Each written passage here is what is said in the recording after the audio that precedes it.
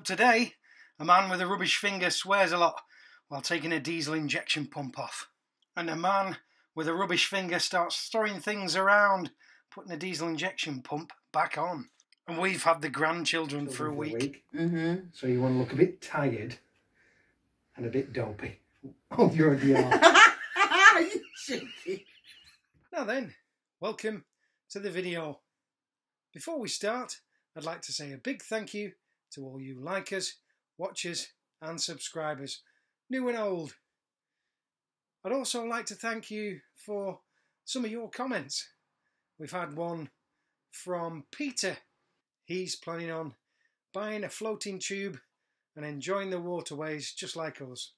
I hope he gets to live his dream. If you've got out to say, you've got any questions or even suggestions for what we can do, stick them in the comment box wherever YouTube's put it this week, and I'll do my very best to get back to you.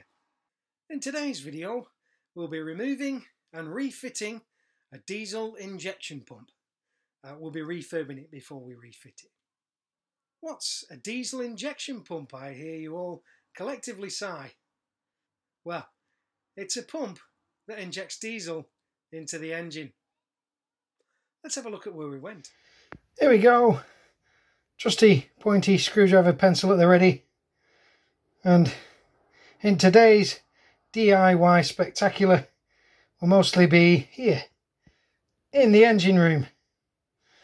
And we must all remember to follow the barely floating motto measure twice, cut once, and then hammer it into fit. Let's crack on. Taking off a diesel injection pump in an engine room isn't as easy as it sounds. First, we had to remove all the things we normally keep in the engine room. From tools, fluids, buckets, wet weather gear and mooring equipment. It all had to go. We piled it up in the rest of the boat, in everybody's way. Next was the deck boards. This left us with a relatively roomy area to work in.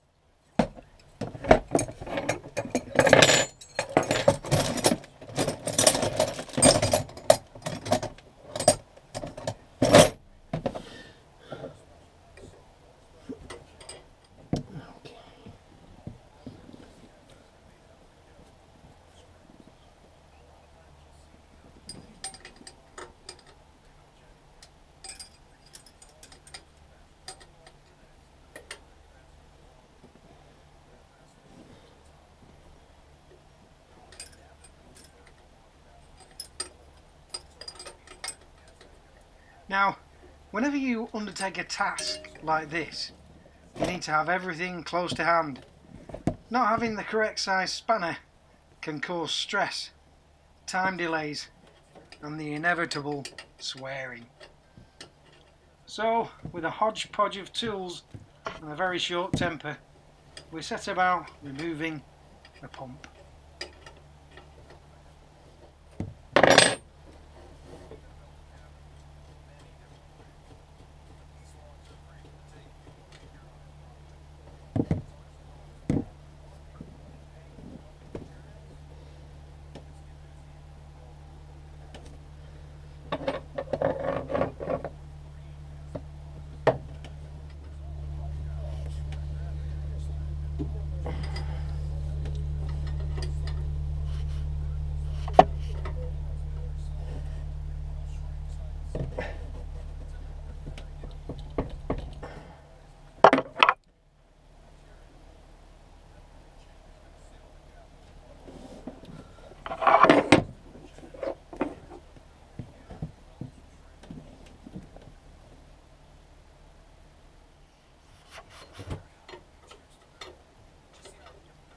On the 1.5 BMC engine, the pump is located on the side of the engine towards the rear. It sticks out 90 degrees from the engine block. On the 1.8 it's in parallel with the engine and more towards the front of the engine as well. It's responsible for delivering the freshly filtered diesel to the injectors. The suspected issue is that the pump could be leaking diesel into the engine sump. This is usually caused by the seals and workings of the pump drying out or even wearing out and the only way to remedy the problem is a total rebuild.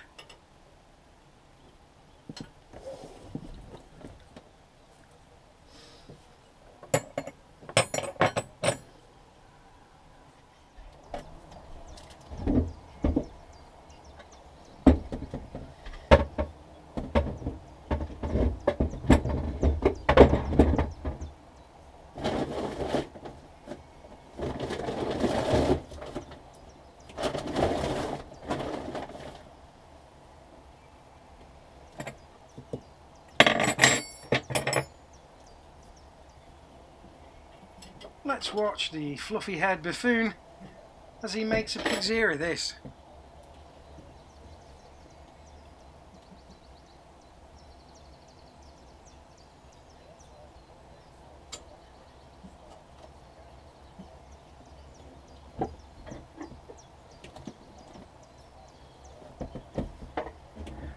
The first thing we did was isolate the power from the batteries that's just a big switch on the boat's fuse console.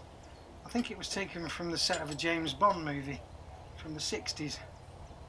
Next, the throttle cable and stop cable. I managed to drop a small fitting into the bilge and spent 10 minutes looking for it.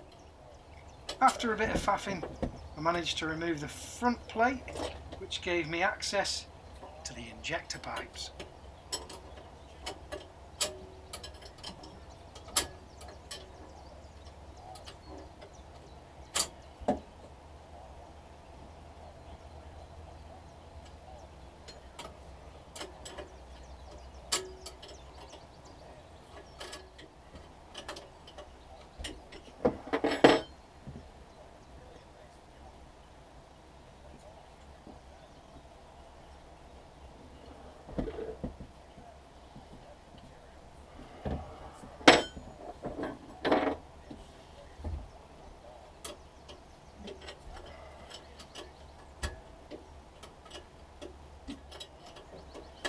Just realised them's my old glasses. The ones I ran over. Ah, the memories. Oh, you pig. The injector pipes are easy to get off when you compare it to the nuts holding the pump to the engine block.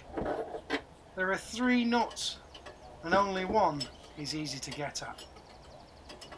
After 11 minutes I began to swear a lot, so filming ended.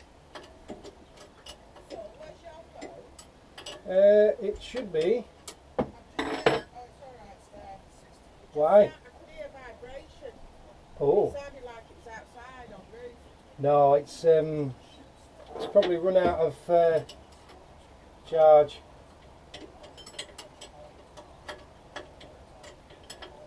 In the end, I had to remove both the starter motor and the oil filter housing. And after another two hot, cramped and finger scraping hours, I finally managed to free the damn thing.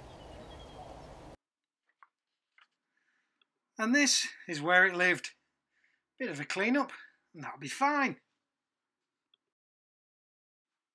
And there we have it. The removed pump, all grimy and mucky. The very next day, I shot off to Diesel Bob's just outside Longridge to get the thing rebuilt. I then informed the CRT about my inability to move. Well, actually, I forgot. Within the week, an email arrived advising me I should move every 14 days. We're CCers and it's the rules. I had to contact the CRT chap and let him know the progress, etc. After a week, we had no word from Diesel Bob, so I rang him. He was having trouble getting parts. This has become more common in most supply chains at the moment. Another week went by, still no pump. On week three, success! The pump was ready. it was time to refit. If you squint real close, you can see the timing mark. I aligned that on the engine block and the engine's already timed. Look how shiny that is. Due to my use of the common Anglo-Saxon dialect, I was unable to use the footage that we'd done in me refitting that, and it had nothing to do with the fact the camera was pointing at a wall. Anyway, it's basically the opposite of taking it off. Again, it took me two hours to put it back in cramped, hot conditions, but I managed it. With everything back in, it was time to hold our breath, cross all our bits, and give her a turn over. Bleeding these BMC engines can be tricky, but I've done it loads of times. Let's see if she fires.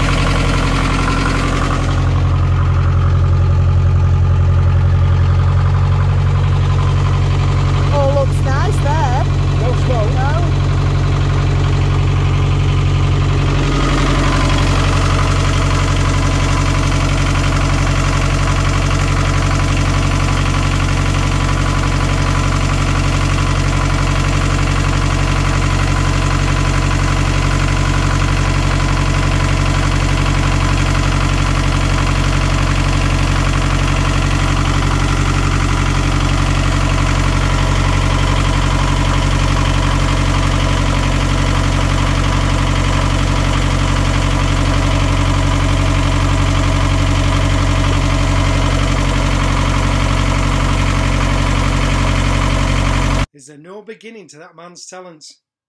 Well, there we are. Laura's back on the move with a very shiny injection pump. Next thing is a test drive. How far will we go? Will we make it?